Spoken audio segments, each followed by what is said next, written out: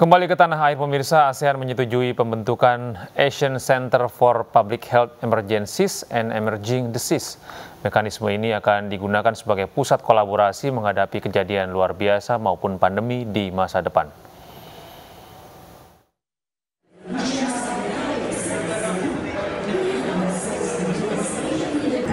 Pertemuan Menteri Kesehatan se-ASEAN ke-15 turut dihadiri oleh Menteri Kesehatan Cina, Jepang, Korea Selatan, serta Menteri Kesehatan dan Layanan Masyarakat Amerika Serikat Javier Becerra. Pertemuan berlangsung di Nusa Dua Badung, Bali sejak 11 hingga 15 Mei 2022. Pada pertemuan tersebut, negara-negara di Asia Tenggara menyetujui pembentukan ASEAN Center for Public Health Emergencies and Emerging Diseases sebagai pusat kolaborasi ASEAN menghadapi kejadian luar biasa maupun pandemi di masa depan.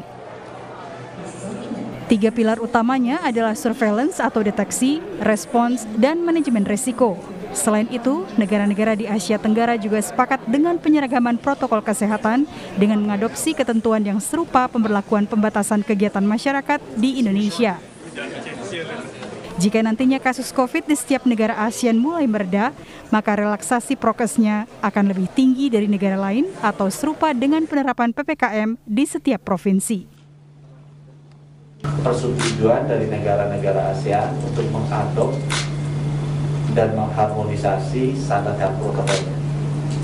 Kita menggunakan QR code dengan standarnya WHO sehingga nanti baik saat ini maupun ke depannya kalau ada pandemi yang lain negara-negara ASEAN sudah siap nggak lockdownnya 100% gitu ya tapi orang yang sudah divaksin dan sehat tetap dia bisa bergerak dia bisa mobile sehingga ekonominya tidak harus 100% berhenti. Jadi itu adalah dua deliverable yang konkret yang kita setujui pada saat ASEAN Health Organizers Meeting. Pada forum tersebut, Indonesia juga mendorong Amerika Serikat berinvestasi pada pengembangan pelayanan sistem kesehatan primer di tingkat regional ASEAN.